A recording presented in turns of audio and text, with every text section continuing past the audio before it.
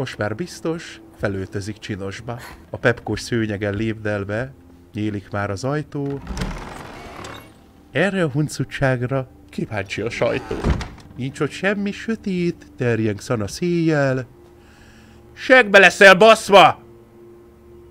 Most ezen az éjjel. Bocsánat, elnézést. A fiókban bekacsintunk, mi lehet most ottan.